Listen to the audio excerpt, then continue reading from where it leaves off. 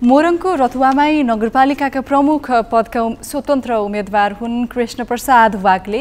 अरू उम्मेद्वारहरू मत माग्न दलबल र तामझामका साथ घर दैलो गरिरहेका छन्। तर सेतै फुलेका कृष्ण प्रसाद साइकलका भरमा एक्लै मतदाताका घर घरमा पुग्छन्। मतदातालाई आफ्ना एजेन्डा सुनाउँछन् र भोट माग्छन्।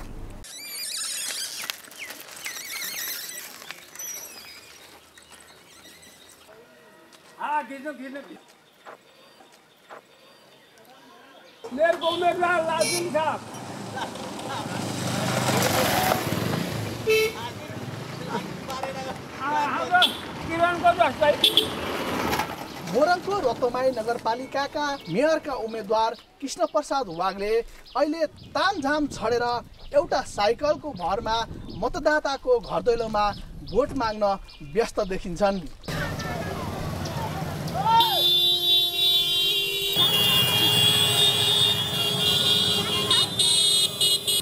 प्रसाद वाग्ले सबैले नेताजी पनि भन्छन्।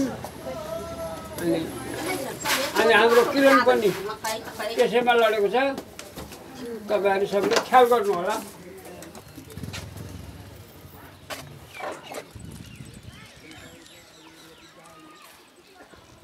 अब यहाँ अहिले एकदम तामझाम र दलबल सहित अरू दलका उम्मेद्वारहरू हिँडिरहेका छन्।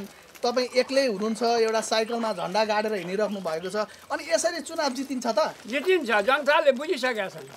किनभने अब उसको जसको अहिले दुई करोड रुपियाँ खर्च एक करोड खर्च गरेर उनीहरू चुनाव लडेका छन् भोलि जित्यो भने त्यही नगरपालिकाको विकासको पैसा लगेर उनीहरूले भ्रष्टाचार गर्नेछन् तर म कृष्ण वागले साइकलमै जित्यो भने नगरपालिका जान्छु फेरि त्यही साइकलमा घर आउँछु। के छन् तपाईँको एजेन्डा? मैले चाहिँ के छ भने रविन राईले गरेका योभन्दा अगाडिका अधुरा कामहरूलाई पूर्णता दिनेछु र गरिबहरूलाई सानो सानो झुब्राहरू जुन निमुखा छन् त्यसलाई अगाडि बढाउनेछु। तपाईँ एक्लै चाहिँ अनि जित्ने आधार चाहिँ कतिको छ तपाईँको प्रतिस्पर्धा? कोसँग छ? के छ? के देख्नु किनभने म हेर्नुहोस् चालिस वर्ष यो क्षेत्रमा घर घर बच्चासँगले पनि मलाई चिन्छन्। त्यस कारणले म मैले मतदानको मैले चिन्ह मात्रै चि देखाउनु पर्छ मत माग्नु पर्दैन। मैले चिन्ह देखाएँ भने पूर्ण हुन्छ।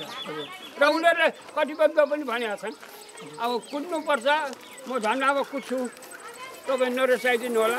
मतदान तपाईँलाई दिउँला। तपाईँको चुनावी खर्च चाहिँ कति छ? कति जति भइरहेको छ? अब अहिले कति जति आउँछ दिनमा? अहिले चाहिँ अब जस्तो अलिअलि म खर्च गरिरहेको छु। अब मेरो केटाहरू मेरो आफ्नो नातिहरू अमेरिकामा छन्। अब उनीहरूलाई पैसा पठाउनु अलिक ढिलो गरिरहेको छु। र खर्च गर्दा पनि मैले पच्चिस छब्बिस सत्ताइस अट्ठाइसमा गरेको मात्रै सफल हुन्छ भन्ने मेरो भावना छ।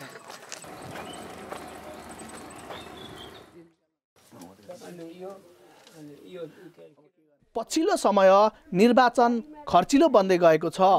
बहत्तर वर्षीय कृष्ण प्रसादबाट अन्य राजनीतिक दलले पनि पाठ सिक्न जरुरी देखिएको छ।